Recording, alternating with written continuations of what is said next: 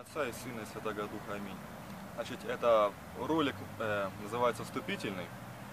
Касается того, что я скоро буду выставлять другие записи ролика, которые я сделал на собрании у протестантской церкви. То есть, чтобы э, вы просто видели разницу. Я расскажу, что было воскресенье. В воскресенье я был в храме православном, на исповеди, там мне причастие было. А потом услышал, что будут проходить э, катехизаторские курсы для взрослых.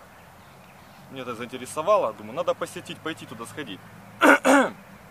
Просто чтобы для контраста понятно было.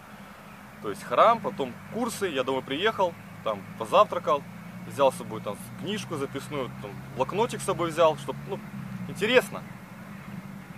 Прихожу туда, приезжаю, там отдельно э, такое помещение у них там при храме, там у них э, идет занятие. Захожу, там священник сидит, ну там Борис Полей, по улице Рабочая, и еще с ним человек э, 6 прихожан, то есть это еще три мужчины, один из них это парень, такой лет, может, 16, слегка умственно отстал, и он такой сидит там, ну, бывают такие, блаженные называют православие у нас. И остальные женщины, все, одна с клироса, другая тоже, кажется, третья, ну, тоже какая-то близкая прихожанка. Я сажусь такой, э, приготовился слушать, что ж там интересного. А у них называется занятие литургика. Вдумайтесь, я, пришел, называется катехетерские курсы литургика. И нам, значит, рассказывают, что такое ирмосы. И сидит батюшка, прям так записываем. И там ирмос, тире, ирмус там, ирмос, хвалебные песни, там такого-то канона возвышенное всегда поется, не считается. Начинает рассказывать, сколько там этих канонов там. Что должно быть 14 прочитано в течение там э, трех дней, как они разбиваются, на полном серьезе, вот это все там это разбирается. Я уже сижу так, тоже так карандашиком чуркаю, ну раз пришел уже, ну что сказать, ну внутри такое как бы не очень такое недовольство, ну еще смешанные чувства. И батюшка тот меня знает, еще до отъезда в Барнаул я с ним общался так э, предварительно. Я ходил туда по всему Борисполю, искал бы священника. Почти с каждым Борисполе священником говорил именно на тему, как бы они не проводят ли они занятия по Библии, э, я хочу присоединиться, у меня материала много есть и желания есть, почему бы нет. И он меня знает лично просто, да, я уже в конце не выдержал, когда с ним общался, говорю, что посмотрите, говорю, как там у сектантов все. А мы, а у нас ничего нету, никакого ни общения, ни изучения, невежество одно. Мы так с ним на такой ноте расстались, прошло уже почти пять лет, он стал уже архимандритом. Он меня, видать, так помнит, как бы, ну, деталей не помнит. Ну, я не уточнял. И вот он, и он прям сел, начал рассказывать, там женщина не поняла, он прям взял листочек большой, начал писать, там, ну, там, Ирмас начал стрелки разводить, где какие, какие песни, какие каноны читаются. На полном серьезе я сижу, угагатываюсь. Ну ничего не говорю, потому что я как бы много наперед знаю, что это будет. Просто не выдерживают люди, я только начну говорить. Заканчивается литургия, тут же заходит э, другой священник, и все это так. Чай, кофе, шоколадки, чай, кофе, там всякие булочки, вафельки. То есть так, в таком полудреме, но мы привыкли, что у нас, я в Барнауле был, сначала трапеза, а потом уже насытый желудок, чтобы или только желудок работает, или мозги. Дальше занятия происходит. Заходит другой священник, история церкви называется предмет. А что там за история церкви? А он рассказал, какие секты возникли, в каком году там они находились, э, какие имена там, э, какие были люди, там, какое потом э, что про мусульманство, там Константинополь, как мусульмане там Сербию захватили, там Балканы, как они патриархов меняли. То есть, и он сидит и так считает, запишет такая ну дотина, я начал носом уже клевать, смотрю, другие тоже. Ну, мы все такие православные, такие смиренные, мы слушаем.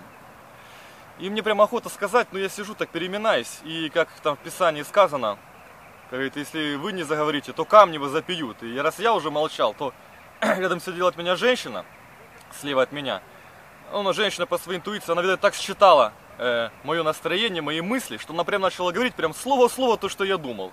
Прям так с нуля, как, говорится, я смолодушествовал, так сказать, а она, как Девора э, в книге Судей, взяла на себя этот, э, всю славу ей досталась.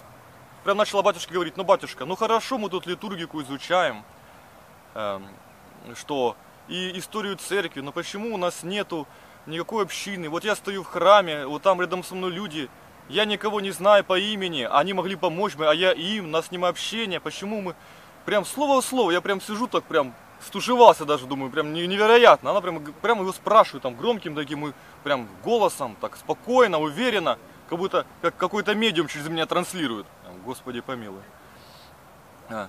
А они сидят во время священника, во время перерыва мы обсуждали, как Томас присудили, почему это Томас э, э, нема РПЦ, какой там патриарх приехал, то есть они сидят там на полном серьезе спорят на этих, эти бумаги делят, кто там прав, кто виноват, где храмы отбирает, то есть вообще мертвещина такая. Я уже сижу, мне это вообще не интересно. Я нашему это все сказал, и священник говорит, ну вот видите, то ли такое время, христиане такие стали, говорит, «э, совсем не те, нравственность упала, никто не хочет делать. Ну как же никто не хочет, только что сказали, что как никто. Если посмотреть, пройти там 200 метров, никто не хочет, там сотни людей собирается. В общем, вот такие дела. Мы это все закончили, я в тот же день пришел, и на контрасте сравните, нас там 6 человек сидит, там 3 женщины, 3 мужчины, и я выставлю ролики вот э, в ближайшее время, там, там послушайте свидетельства людей, как они к Богу пришли, какие проповеди, какие песнопения, то есть вообще там стоишь, думаешь, удивляешься только, как Господь нам показывает на примере этих людей, каким нам нужно быть. И мы будем ответить за это. Как сказал Христос, что горе тебе, там, Харазин, там, Вифсаида, что э, отраднее будет Содоме и Гоморе, потому что в них не были те явлены чудеса, которые были в ваших городах явлены. Они перешли, посмотрели бы, как те люди, что делают. А мы по сравнению с ними, это просто как какое-то болото такое тухленькое, ничтожное. В общем, слава Христу, посмотрите эти ролики. Аминь.